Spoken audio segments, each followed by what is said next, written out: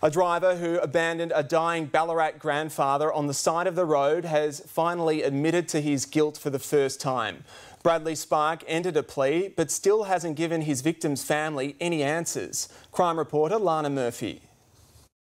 He ran down a grandfather, then left him to die and hid from police for six days. But this morning, Bradley Spark uttered five words I plead guilty, Your Honour. An admission six months in the making after the 39 year old killed David Thompson in October last year. The cricket mad grandfather was cycling to work through Delacombe in Ballarat before 6am when Spark cut a corner, crossed onto the wrong side of the road, struck David, then fled.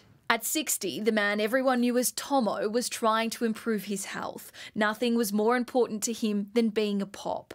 My dad was one in a million, his daughter Sophie told Nine News.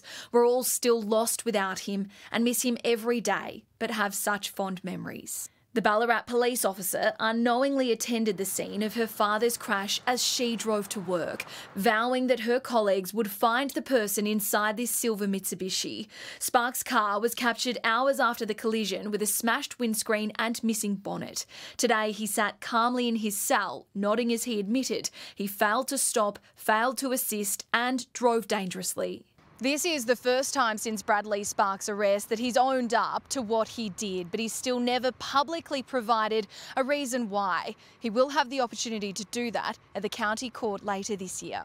The maximum penalty is 20 years behind bars. Lana Murphy, 9 News.